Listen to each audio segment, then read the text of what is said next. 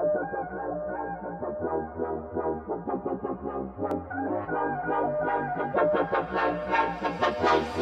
what you got?